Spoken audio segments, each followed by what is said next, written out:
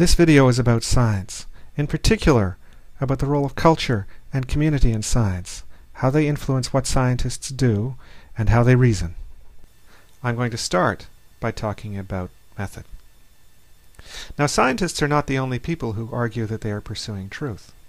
People of religious faith, philosophers also talk about truth, but they use different methods. What characterizes science and scientists above all is their use of scientific methods. And those methods are characterized by two things. First is evidence, the comparison of theories about the world with evidence about the world, often taken from experiments. The other is the application of reason. The way that scientists combine evidence and reason is what makes them scientists and what has made science so effective. The question is, how is this actually done? One use of reasoning and evidence that is often associated with science is induction.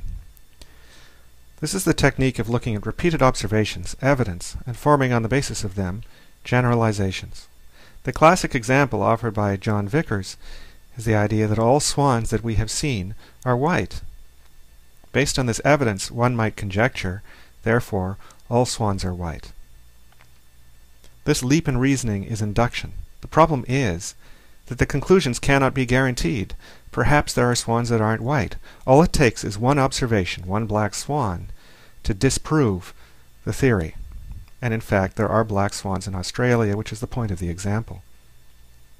This account of science as inductive was rejected by the philosopher Karl Popper, who was concerned that people might make claims that things are scientific when in fact they were false. If all you're looking to do is to confirm a theory that you have, it may be easy to find evidence supporting it. But if there's evidence contradicting it, the theory may in fact be false. Popper wanted to rule out pseudosciences and bad science. He argued that scientists should be critics, that they should be constantly looking for flaws with the theories that they came up with. And he also argued that rather than being, than being inductive, science in fact is deductive. Deduction is contrasted with induction, where induction begins with a number of specific examples or pieces of evidence, and from those formulates a general theory or principle. Deduction goes the other way.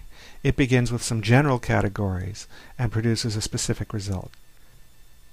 Deduction begins with premises or assumptions. It applies to them rules of logic and reasoning to produce conclusions. And these conclusions are irrefutable unless there's a problem with one of the premises. The classic example is the syllogism all men are mortal. Socrates is a man, those are the premises. Therefore, Socrates is mortal. Socrates must be mortal unless for some reason the assumption that all men are mortal is false, or Socrates is not actually a man. Popper argued for falsification. Whereas induction begins with a collection of evidence and proceeds to generate theories, Popper said that scientists do the opposite. They begin with a theory, and they compare it with evidence. But rather than seeking out evidence that would confirm the theory, he said, they seek out evidence that will disprove it. As in the example of the white swans, the theory that all swans are white can be disproved by a single piece of evidence, a single black swan. Popper said, Insofar as a scientific statement speaks about reality, it must be falsifiable. And insofar as it is not falsifiable, it does not speak about reality. What distinguishes science from non-science, in Popper's mind, is that science can be tested, and those tests could potentially turn out to fail if the theory doesn't correspond with reality. There are a number of challenges to Popper's characterization of falsification. One of them, the Duhem-Quine thesis, holds that any hypothesis depends on a collection of assumptions and background, and so that when there's a single piece of evidence that may appear to contradict the hypothesis, it's not clear which part of the hypothesis is contradicted. Critics also pointed to a problem of judging which evidence is sufficient to falsify an established theory. Popper himself acknowledged that a single piece of evidence is seldom enough. Science is rife with anomalies, uncertainties, errors, effects of observation and experiment. But then if multiple pieces of evidence are required, how much? Falsification begins to look a little bit like induction.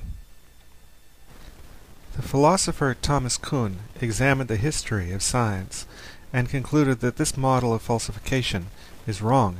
It's not what scientists actually do. He wrote, no process yet disclosed by the historical study of scientific development at all resembles the methodological stereotype of falsification in direct comparison with nature. This seems a little bit unfair to Popper. On the one hand, there have been decisive experiments in science. On the other, while Popper thinks that he is accurately describing what scientists do from day to day, he is also making an argument about what they should be doing in order to do good science. His argument that scientists need to make theories that are testable is important. Seeking to describe what scientists actually do, Kuhn's answer to the problem of evidence is not an objective rule or a simple comparison with nature, but the judgment of scientists within their communities according to the standards of those communities. In fact, debates around evidence and error and what counts and what doesn't are central to the pursuit of science. Kuhn further says that scientists are seldom critical. Most of the time, they pursue their work on the basis of what has gone before, without questioning it, without trying to falsify it, but rather trying to fill in gaps. Occasionally, however, there arises a situation when there is actually a revolution within science, and this is the topic of his famous book, The Structure of Scientific Revolutions. Central to all of this is Kuhn's idea of a paradigm. A paradigm, as he describes it, is a collection of background assumptions, questions, and what kinds of questions that count within the disciplines, the methods that are used by scientists, and the kinds of answers that count. It can be difficult to recognize the taken for granted assumptions that we have about dominant paradigms. It is perhaps easier to highlight them with respect to past paradigms. For example, the old idea that the sun orbits the earth, which of course was replaced in the Copernican revolution by the understanding that the earth orbits the sun. This is one of Kuhn's prime examples. Geological catastrophe used to be what geologists felt produced mountain ranges and other large physical features. It wasn't until the understanding of plate tectonics came in the 20th century that geologists recognized that many of these things happen gradually over time. The Newtonian vision of a clockwork universe that dominated physics up until the 20th uh, century is another example. Kuhn described two kinds of science. The first of these is normal science. This is what scientists do almost all of the time. They operate within the bounds of the existing paradigm. Every scientific paradigm has anom anomalies and puzzles that need to be solved. In fact, for scientists, this is much of the value of a paradigm. They find it worthwhile not only because it explains things, but because it leaves things for them to do. If there were no problems to be solved or addressed, scientists would have nothing to do. However, sometimes there can be a challenge to the dominant paradigm. Perhaps anomalies build up to such an extent there is evidence that doesn't fit, and scientists, or a few scientists, come up with an alternative. Kuhn says that the new paradigm will be incommensurable with the old. That is, that the one cannot be understood in terms of the other. The idea that the Earth orbits the Sun is not a progressive approximation of the idea that the Sun orbits the Earth.